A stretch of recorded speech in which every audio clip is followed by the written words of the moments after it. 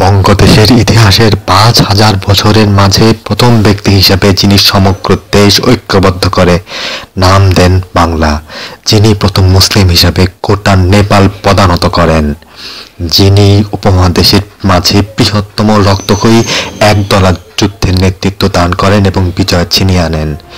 গোটা এশিয়া মহাদেশের মাঝে তৃতীয় ব্যক্তি যিনি তোপের প্রবর্তন করেন, যিনি বর্তমান টাকার আদিরূপ নির্দিষ্ট মূল্যমানের তংখার প্রবর্তন করেন এবং যিনি গোটা উপমহাদেশের মাঝে বৃহত্তম সাতাশটি হাম্মাম বিশিষ্ট প্রাসাদের নির্মাণ করেন এবং যিনি মাথার মুকুটে পরিধান করতেন বিশ্বের তৃতীয় মূল্যবান সদা প্রস্তুত সৈন্যদল, দুঃসাহসিক অভিযান, অবরোধ।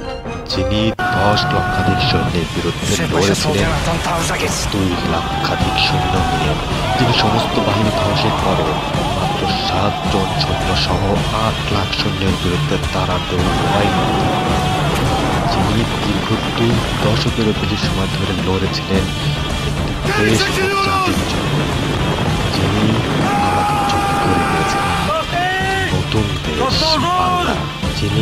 বাংলা ও বাঙালির নাম দিয়েছিলেন সুফল ইলিয়াস শাহ বাংলা ছবি বাংলার ইতিহাসের না বলা কিছু কথা তথ্য সমৃদ্ধ পোস্ট সেই সাথে রেফারেন্স সমগ্র সহ বিস্তারিত দেখতে এবং জানতে আমাদের সাথে যোগাযোগ করুন এবং আপনার যদি ভালো লেগে থাকে তাহলে লাইক দিয়ে এবং সাবস্ক্রাইব করে আমাদের সাথেই থাকুন।